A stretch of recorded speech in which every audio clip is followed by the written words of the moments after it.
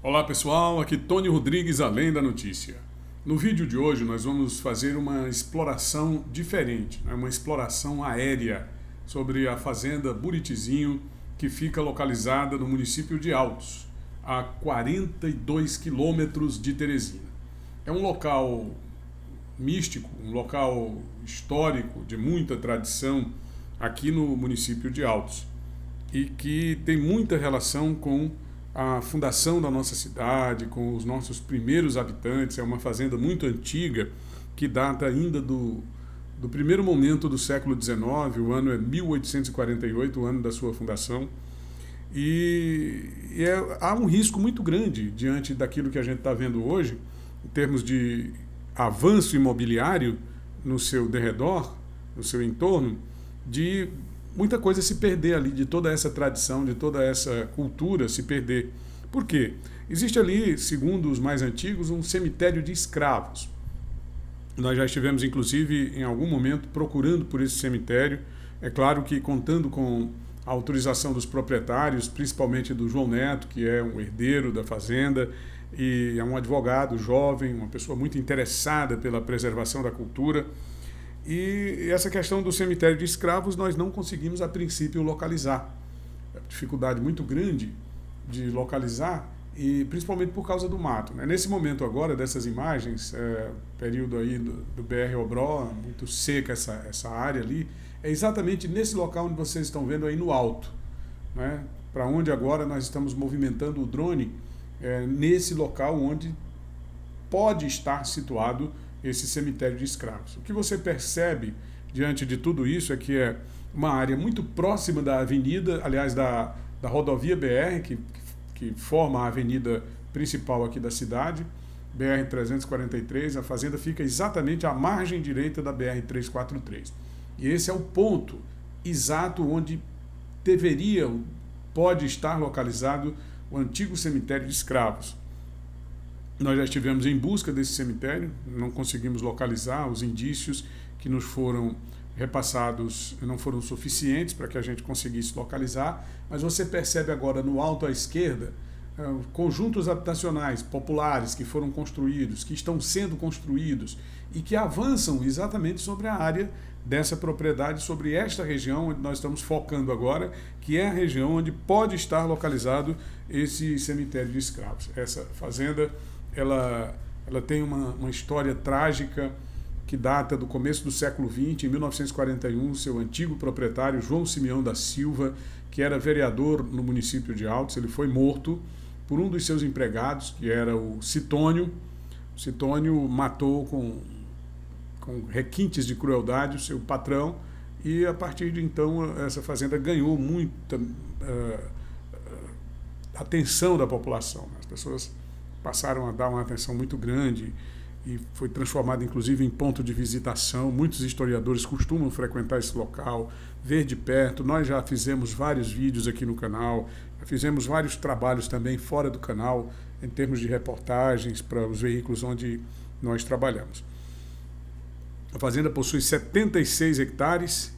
Você observa aí como, como é uma, uma propriedade imensa, né? como é uma região imensa.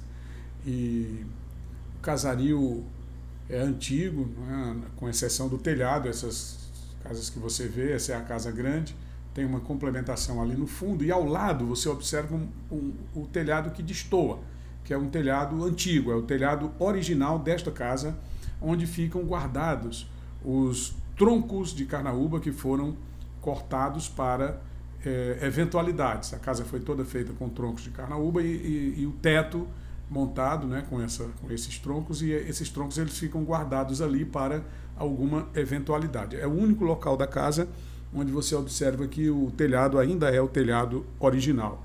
Ah, nessa parte, que é a parte da casa principal, é, nós temos do lado direito, né, de quem sai, você vê ali no alto, é o local onde nós mostramos há poucos instantes, onde poderá estar esse cemitério cemitério de escravos, já tratamos sobre isso com muitas pessoas, com alguns historiadores.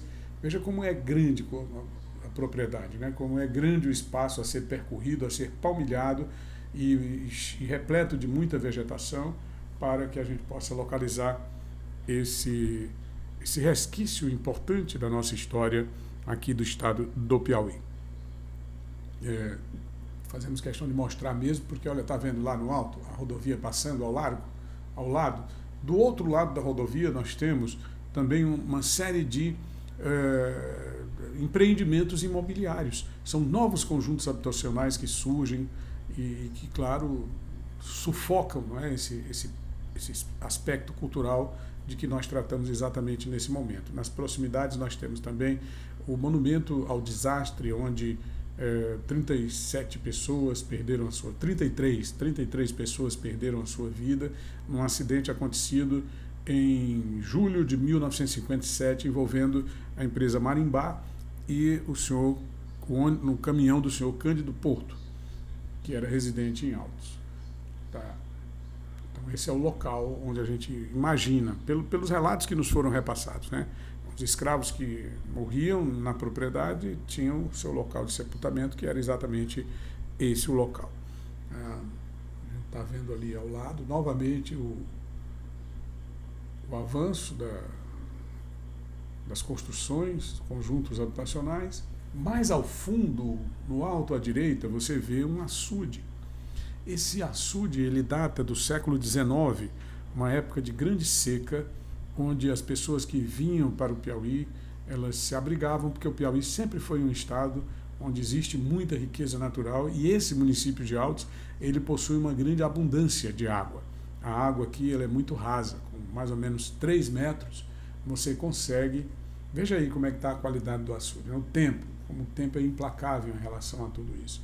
Mais ou menos 3 metros de profundidade você já consegue chegar a um manancial de água. Então é um, é um local onde tem muita fertilidade, exatamente por conta da abundância de água.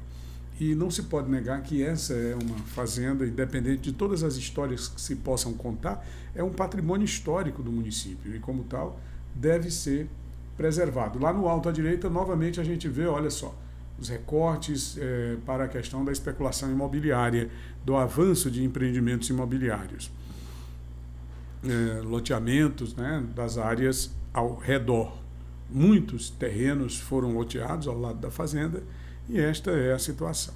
Depois do, do incidente envolvendo o seu João Simeão da Silva, né, com seu trágico falecimento, a prisão e morte também do seu assassino, que era Antônio Rodrigues é, da Silva, eles não tinham nenhum parentesco, evidentemente, esse, esse sobrenome Silva é muito comum aqui na região Nordeste, é, o Citônio ele foi morto também, né, logo depois.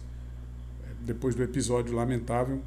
E a fazenda ela foi passada para outros proprietários, outras pessoas adquiriram. Teve um momento de grande esplendor a partir da, do, do, jornalista, escritor Celso Pinheiro Filho, que nessa dependência, né, que foi dentro dessa, dessa fazenda, desse, dessa casa grande, que ele realizou pesquisas, que ele escreveu, que ele se refugiava para escrever os seus livros e escreveu o livro que trata sobre a história da imprensa no Piauí. É uma das grandes obras que nós temos, contando os grandes jornalistas, os grandes momentos, os grandes embates políticos, naquele tempo em que a imprensa era eminentemente política